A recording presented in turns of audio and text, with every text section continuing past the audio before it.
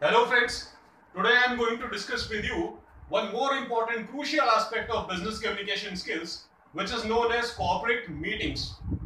Ladies and gentlemen, meetings occur often in any kind of corporate environment related to different topics and different problems that the corporate people are facing. But there is a proper structure of the meeting and today I am going to discuss with you that proper structure of conducting a meeting. Ladies and gentlemen, there are few crucial aspects of meeting. The very first aspect of meeting is that why the meeting is actually held. The meeting is actually arranged in order to consider new proposal, in order to resolve the issue which the corporate people are facing, or in order to introduce some new changes in the organization which are going to affect the employees of the organization. So whatever new is there happening in the organization, to introduce that new venture to the employees of the organization, you know, to uplift the organization in any way, or to discuss any serious matter inside the organization, meetings are held and meetings are very crucial aspects of business communication or any kind of business environment. But as I said, there is a formal structure of the meeting. So now I am going to discuss with you the actual structure of the meeting. First of all, there are certain crucial aspects of the meeting. Before starting the meeting, the proper notice of the meeting should be given to all the participating members. All the members who are about to participate in the meeting, they must be given notice of the meeting in a written form seven days prior to the actual date of the meeting, ladies and gentlemen. Minimum seven or eight days prior to the actual date of the meeting. And in that notice, certain important informations must be mentioned. The notice contains the venue of the meeting, who will be the chairperson of the meeting, how many participating members will be there in the meeting, and most important and the crucial aspect that what will be the agenda of the meeting. These are certain crucial aspects which are mentioned in the notice of the meeting and it is also mentioned that the people who are going to participate in the meeting, they are also allowed to introduce proxies. Now what are proxies?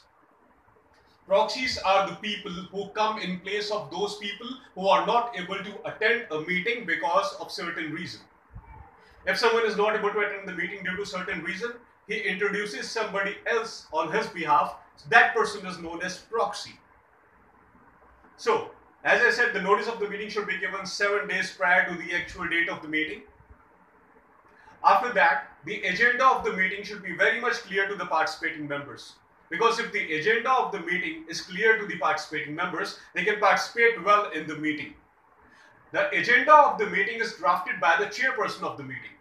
The chairperson of the meeting is the person who creates the actual agenda of the meeting and sends that agenda six or seven days prior to the actual happening of the meeting.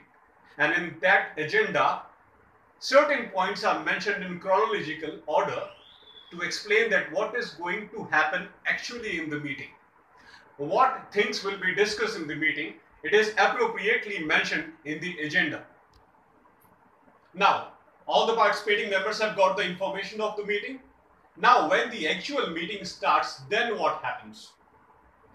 What happens is, first of all, the secretary of the meeting, he channelizes that what problems will be discussed in the meeting and when the meeting is being held, when the chairperson is sitting and all the participating members are participating in the meeting, it is the responsibility of the secretary to disclose that what is going to happen in the meeting.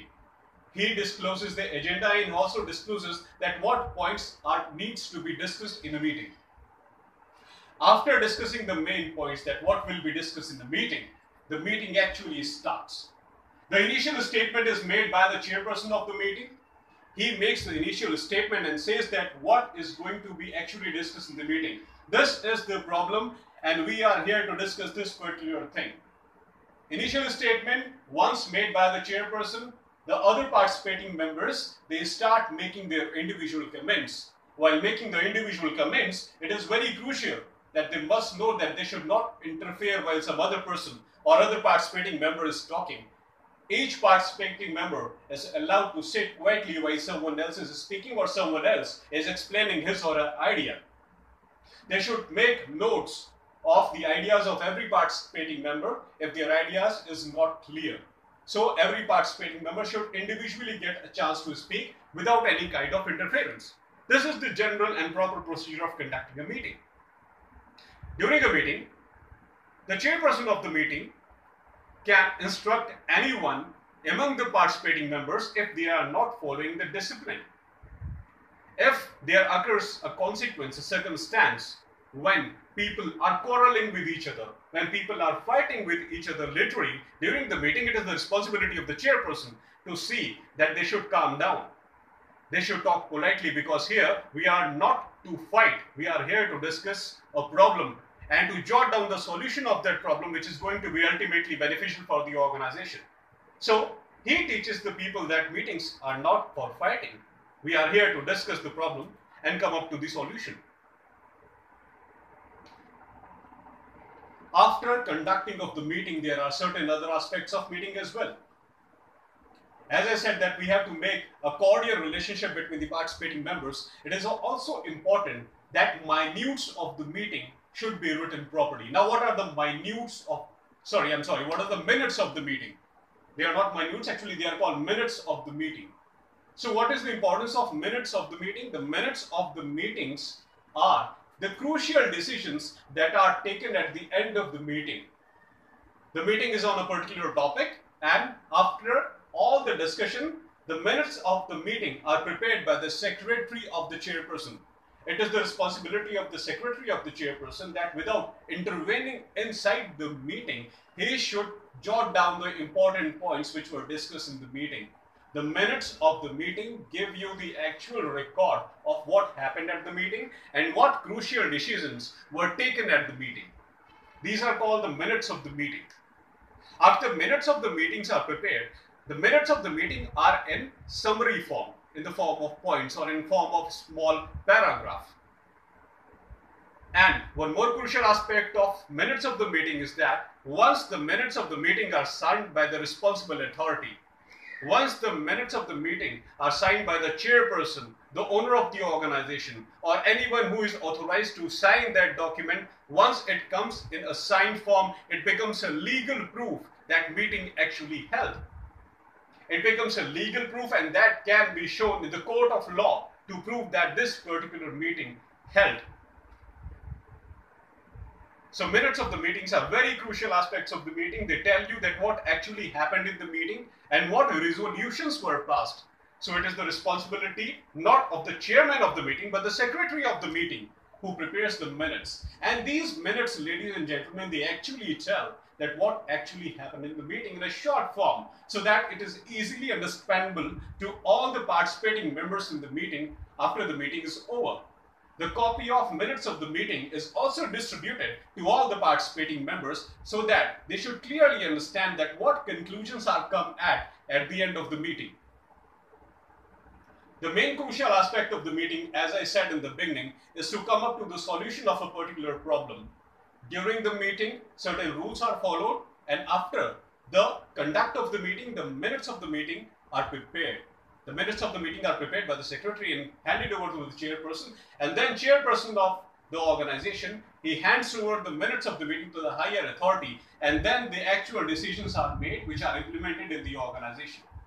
So this is the overall procedure of conduct of the meeting. And we should make it very clear in our mind that all the participating hmm. members should not interfere as it happens in group discussion. So as I said, Always concentrate on important aspects of the meeting, which are the minutes of the meeting, the agenda of the meeting, and the notice which should be given seven days prior to the actual conduct of the meeting. So these are very crucial aspects of meeting. If these crucial aspects are followed in the organization, the meetings will not be a waste affair.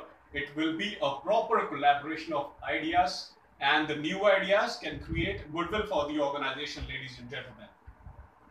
So that's all I wanted to tell you today regarding the corporate meetings.